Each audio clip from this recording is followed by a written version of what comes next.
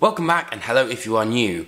So, one of the most influential progressive metal bands of all time, Dream Theater will be unveiling their 14th brand new studio album and Inside Out debut, Distance Over Time.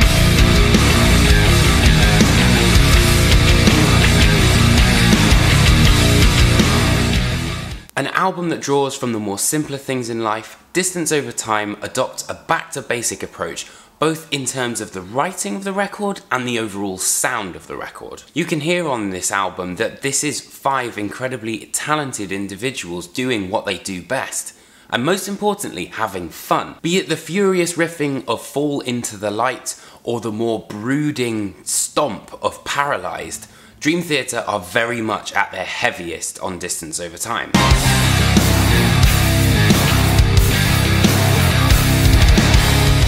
Most importantly, however, you can feel that there is this sense of jamming, this sense of kind of cohesiveness within the band, and particularly on S2N, one of the tracks where this this overall feel really comes through. Amid some of the trickster rhythmic sections, it's even got an Owen Wilson Wow. and you can just tell that the band are having a good time. This for me is Dream Theater at their heaviest, and not since Train of Thought have I heard the band sound this brutal. And by heavy, I don't necessarily mean, you know, the fact that they're playing on seven strings or the distortion is turned way up. It's this real overall sense of menace that Dream Theater ooze, particularly on the end of the single Untethered Angel.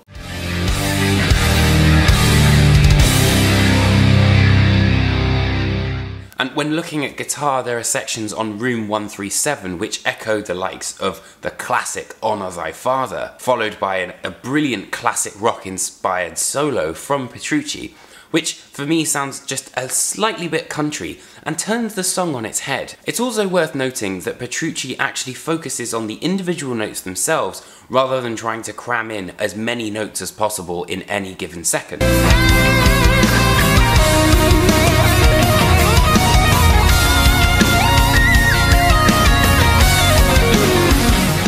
The guitar riffs, although they may be somewhat slower, have this real weight and their sense of purpose throughout the record, particularly working in tandem with Mangini's incredibly weighty drum performance. And his sound, although incredibly hard hitting, allows for the feel to be changed in an instant if the band want to. Not to mention that the final section of S2N features personally my favourite Jordan Rudess solo on the album. With songs not even going over the 10 minute mark, this is somewhat of a miracle for Dream Theater, and the songs are just better for it. Each of the tracks evolve and are allowed a little bit of a wonder, but don't go on these sprawling 20 minute walks where we not only lose the listener, but lose the sense of what the song really is about. If anything, it proves that we can have the prog epics, the likes of At Wit's End and the world questioning Pale Blue Dot without losing the listener and the singer. These two tracks are your guaranteed fill of good prog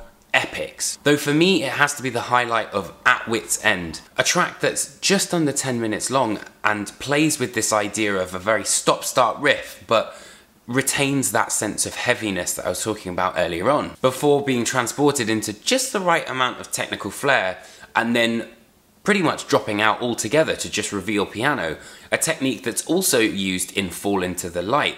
Following that sort of Megadeth thrash three minute opener, we're then moved into that acoustic section before the song slowly but surely builds back up again.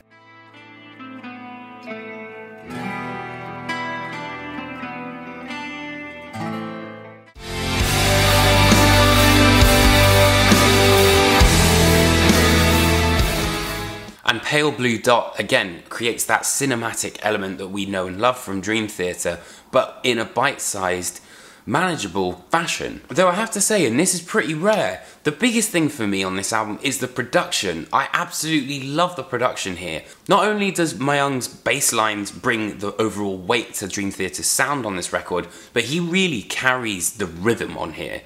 And I feel that quite a lot of the time he can be sort of forgotten in the mix. You know, for example, the clanging bass of Fall Into the Light really makes him stand out.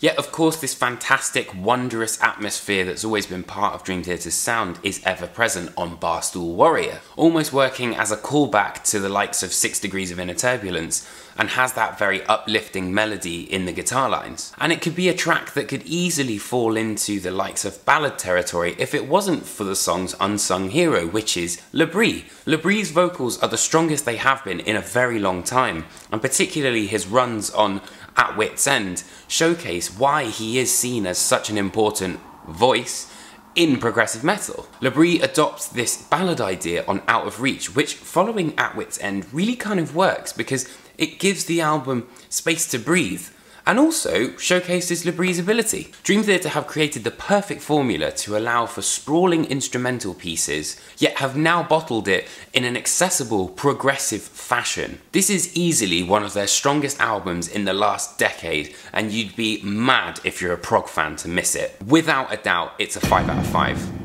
So, I hope you guys enjoyed this video. If you did, hit that like and subscribe button. Make sure to check out all my other videos, interviews, album reviews, all sorts of stuff. What do you think of the band in 2019? I'd love to hear it. Anyway, thanks so much for watching, and I will see you guys next week for another album review. Take care, friends.